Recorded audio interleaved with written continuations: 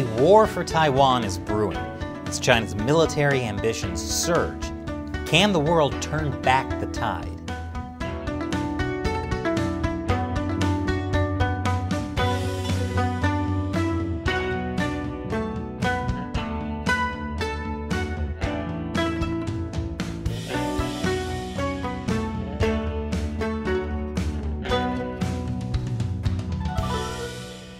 Welcome to China Uncensored. I'm Chris Chappell. This episode is sponsored by Daily Pnut. The news can be a tough pill to swallow, especially when it's about war. But that's why you'll love Daily Pnut, which gives you the news each day in small doses, part humor, part substance.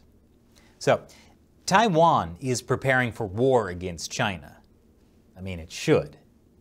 The Chinese Communist Party has vowed to conquer Taiwan. Chinese jets have been harassing Taiwan constantly. In mid June, China sent a record 28 fighter jets toward Taiwan. And recently, China deployed stealth fighter jets to their military units that monitor the Taiwan Strait. That deployment was announced on Chinese state run media, which seems kind of counterproductive, since they're supposed to be stealth jets. Look at how stealthy our jets are. Here's exactly where we're sending them. But the Chinese military's increasing incursions on Taiwan's airspace have put a tremendous strain on the Taiwanese military as well as the Taiwanese people.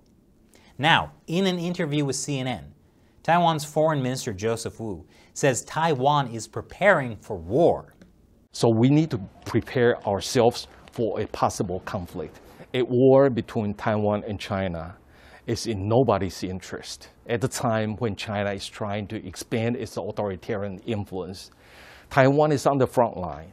China's expanding authoritarian influence is exactly why the U.S. has been increasing support for Taiwan. That's true of both the Trump and Biden administrations, and that tells you something. Recently, the U.S. and Taiwan agreed to hold regular talks on issues ranging from technology supply chains to meat imports following their first trade and investment framework agreement meeting in five years. And Taiwan is pushing for a free trade deal with the U.S. Obviously, the Chinese Communist Party is not happy about any of this. It interferes with their plan to make Taiwan completely dependent on China economically. Actually, that's pretty much their plan for the rest of the world, too. Anyway, the Communist Party has particularly been targeting Taiwan's Foreign Minister, Joseph Wu. Party member Zhu Fenglian, who's a spokeswoman for China's Taiwan Affairs Office, said Joseph Wu has repeatedly and arrogantly provoked Taiwan independence. We will take all necessary measures to severely punish such Taiwan independence diehards for life, in accordance with the law. Taiwan independence? Taiwan is independent. That's why it's not under communist control. As for the threats, Minister Wu has this to say. They cannot tolerate truth. And if they continue to say that they want to pursue me for the rest of my life, I don't really, uh, I'm not really concerned about that. So for that, I think it's an honor to be targeted by the Chinese government. I like this guy. A Chinese communist occupation of Taiwan would be a disaster for the Taiwanese people. Look at what's happened to Hong Kong. And Hong Kong was never even a fully independent democracy.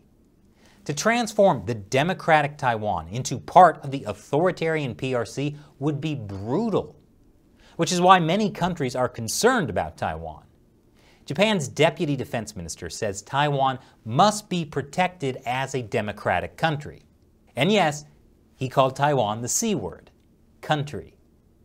He also said the world needs to wake up to China's threat to Taiwan.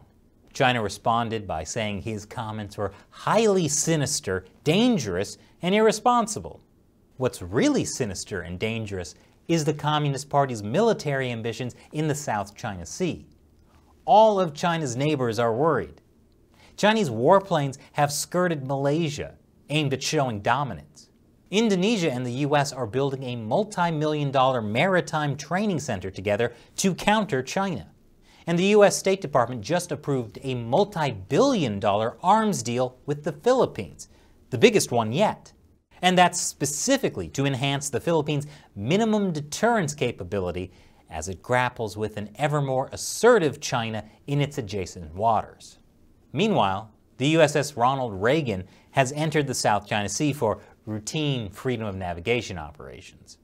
This does not necessarily mean war will happen. If a strong deterrence can be maintained, that's actually the best hope we have of preventing the Chinese regime from starting a war against Taiwan or in the South China Sea.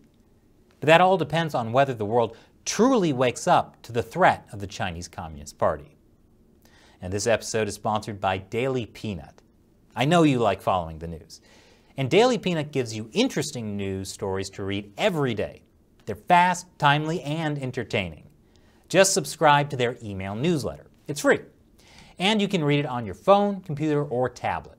It's a great way to filter out the noise and learn more about world news that matters. There's more than a quarter million other readers already, so join for free. Click the link to Daily Pnut in the description below. Once again, I'm Chris Chappell. Thanks for watching China Uncensored.